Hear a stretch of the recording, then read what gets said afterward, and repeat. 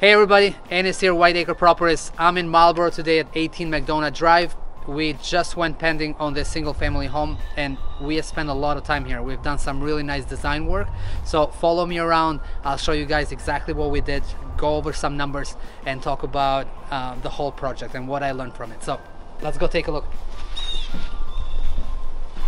All right, welcome in. So it's a split level house, but let me show you this first floor really quick. So it's a nice open floor plan as everybody likes it. Kitchen, dining, uh, living area right there. So it's it, it, it's a nice house. We didn't do a lot of work. It wasn't a full gut by any means. But uh, as I go through the first floor, I'll show you guys exactly what we changed and what was here. Um, this definitely wasn't a, a full gut where we spent months and months, but definitely uh, we we put a lot of effort on design. So let me actually turn, go around and start in the kitchen. So this whole kitchen didn't feel this open. It, it, actually, the wall came all the way here where I'm, where I'm at right now and it made this kitchen a lot smaller. Um, what we decided to do is demo the wall, go back, put the fridge here and create this um, U shape with a peninsula island, right? Um, spent a little bit more money on the quartz countertops, some nice cabinets, brand new appliances. We put this nice um, backsplash, nice light fixtures and all that. I can't take credit for all of this. I, I can't really come up with this nice product. So I, I want to thank everybody that was involved here. Um, for the design, staging. Uh, thank you to Chelsea, Jimmy for all the project management because I can't do this alone. You know, I, I show you guys this nice product, but this is not me uh, I'm involved in it, but there is a lot more people that helped me come up with this nice design. Um, all right, let me turn around again. This whole area was existing. We put new windows. Staging obviously makes a big difference. You guys know that I'm a big fan of staging. Um, if you need our connection to Chelsea, please let me know. She is a subcontractor. She's uh, she works with other investors and other people. So if you need that introduction, please let me know. Uh, we did brand new decking as far as composite decking because everybody wants maintenance free nowadays so we did that. Uh, new slider. That's the extent of the work that we did here. Um, hardwood floors we spent a little bit more money this time to do um, lighter hardwood floors as far as stain goes. Uh, if you notice we're putting a lot more emphasis on design nowadays because it definitely helps us get the maximum dollars when we go sell it. Um, I'll show you this cathedral ceiling living room really quick and then we go check out the bathrooms all right, so bathroom number one. Um, we did keep the walls here, but actually, let me go ahead. We did keep the walls, but the flooring is brand new, the vanity is brand new, toilet, tile, tub. This is all brand new stuff. Nice mirrors, nice lights. Um, I'm really happy with the finished product here. All right, so in total we have three bedrooms. This is bedroom number one all we did here is painted, put the floors, the new window, stage it, that's about it. Um, same thing on this one. You know, they are identical in size, a lot of staging, um, and that's all we did. All right, let's go upstairs. So upstairs we got the master bedroom, master bath, and a study room.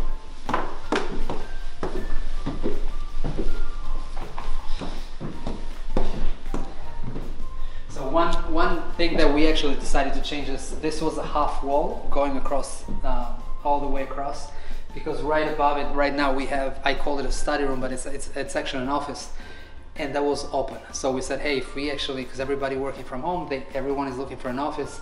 If they want a nice quiet space they probably don't want to hear the kids or the other family members from below.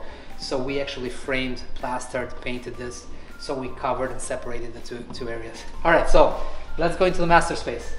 Definitely my favorite part. Uh, it's good size. You got closets on the corner, closet on the other side. Uh, so plenty of closet space. And then you got this nice office space right next to it. So literally, you can get out of bed, take care of your business in the bathroom, and come here and get to work. You don't have to go too far. Um, what we did here. So one big difference is this double window. This used to be a sliding door. They had they had a balcony and a sliding door. That balcony was completely rotted, was in poor shape. So it didn't make any sense. Why should we have a balcony of an office space? So we actually closed it, put two brand new windows.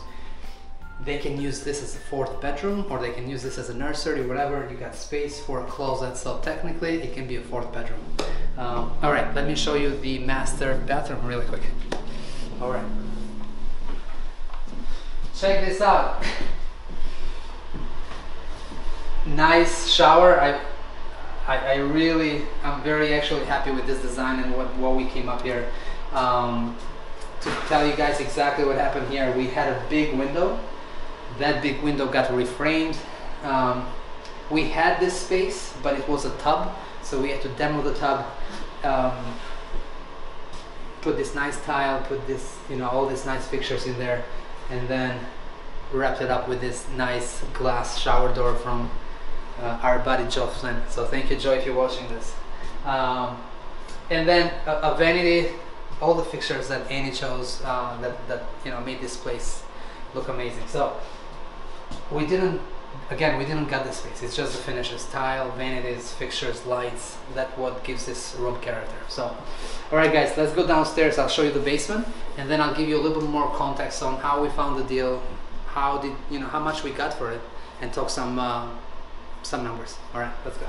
All right, guys, we're in the basement right now. So let me show you this space here. Uh, vinyl flooring because we're in the basement.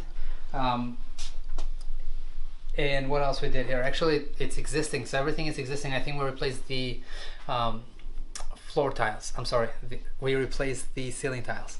Uh, we did close one window there because we had a lot of um, rotted trim and, and, and wood. So we, cl we closed that. That wasn't uh, something we wanted to keep and then washer and dryer here and um, the furnace area so I actually want to show you the furnace really quick it's nothing special but there's a point that I want to make I'll come back to this really quick we this is the only thing actually that we didn't change that was one of the big ticket items and the reason why I did that is because of the market we're in right now in 2021 or even you know past COVID the last few months extremely low inventory and people are fighting to get a, property like this. So it didn't make sense for us to replace it. it was working fine. I know it's like 30 years old and it's past its useful life, but it didn't make sense for us to go spend the money uh, because we knew we were going to secure a buyer that's going to buy this as is. So that was the idea.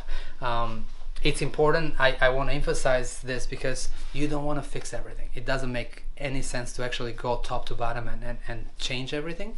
Uh, you really want to maximize your investment. And obviously, we're a for profit business. So, whatever we spend, we want to make a profit on that. Um, so, we did change things like windows, we did change the, the, the uh, roofing, we didn't change the siding because it was in good shape. We just changed some uh, rotted trim. Um, but why change things that actually are looking good, right? So siding we painted, we kept the furnace. Uh, unfortunately, we couldn't do anything with the existing kitchen because that's where the value is. People come in, we wanted to wow the buyer with kitchen and bathroom. So, uh, but if you notice through the walkthrough, I didn't change a ton of stuff here.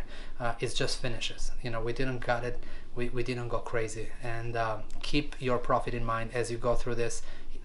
Properties don't have to be a 10 out of 10 to sell for top dollars. They can be you know six seven out of ten and people will still bid each other out get your top price because there's nothing out there so keep inventory in mind all right let me show you the garage really quick and i'll give you some backstory on the property and then we'll wrap it up so garage painted the flooring changed the two garage doors so those were just too old to keep there was no way around it i kept the electric uh, we kept the electric panel because it's fine it's not fuses or anything um, and that's about it. Oil tank stayed the same. You know, we didn't go crazy. We just, like I said, painted floors, painted walls, and changed the garage doors. All right. So let's go inside. Let's go upstairs because it's much warmer, and then I'll uh, we'll we'll give you guys some numbers. so guys go back a, a, a, few videos and look at the original video we we actually did here. Um, i think i brought you in the first or second week so you could see the before and after. Uh, if if we can we'll probably put some photos so you can see the before and after here as well. But basically what happened they got a the way we secured this property is we sent a direct mail letter out. They called us. I think it was a divorce situation uh, where they had a court order and they had to sell by a certain date. So the motivation was extremely high. Uh, Mark, our acquisition manager, signed it on the spot, and what we paid for it is 232,000. So 232,000 for a three-bedroom, two-bath in Marlborough in a really good location. Uh, we ended up spending uh, close to $90,000 in, in renovations. I will do a second video, maybe in a week or so, where I break down exactly all the um, everything that we spent.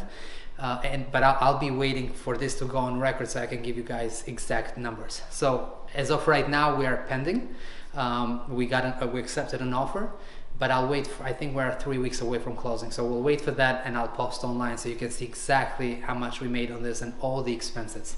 Uh, because there's definitely a lot of expenses. So 232 purchase price, 90 in um, the renovations and we went pending for $540,000. So I can't give you an exact profit number. I know it's a six figure profit on this one, uh, but I'll give you exact numbers next time. So things to remember is, uh, or things to I wanted to, to mention to you is what we brought, you know, the value that we brought to the seller in the first place as is sale. We told them we can close when you want, told them leave everything behind, you don't have to clean.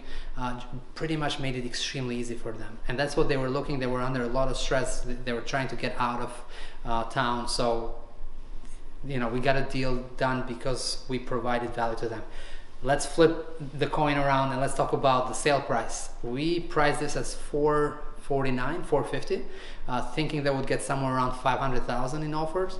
So we underpriced it uh, to get a lot of people here. And the open house was crazy. You guys probably have seen some photos from our social media where we had tons of people lined up uh, and people started outbidding. So we received 20 offers with the highest being 540,000. So that put us at $90,000 over asking price. Not only that, but they said, you know what, as is, we're not gonna do an inspection. So that's that's the way to do it. Um, again, it's not all me. Uh, there's a great team of people here that that does a lot of work, and I'm very grateful for. So. Uh, let's wrap this up here. I think I gave you guys a lot of content. We'll do a second video with some numbers. Um, and maybe I'll, I'll think about lessons learned, what went wrong, because there's always something that goes wrong. So thank you for following. Please like, subscribe, share, uh, reach out with some comments. I, I want to hear from you guys. Thank you.